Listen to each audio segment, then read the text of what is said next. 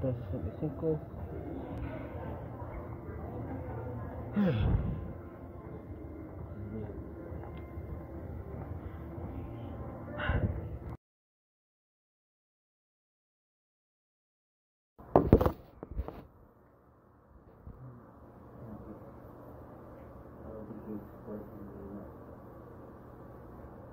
Okay, you need to hear my voice. Like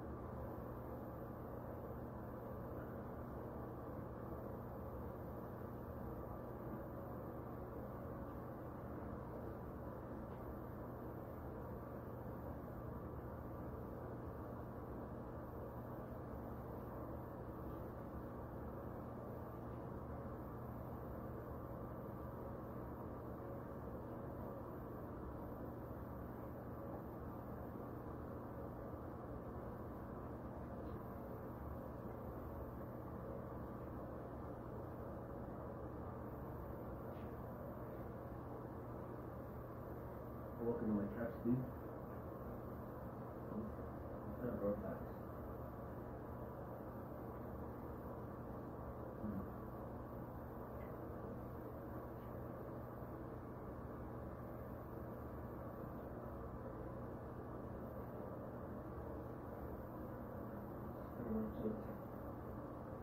Much it.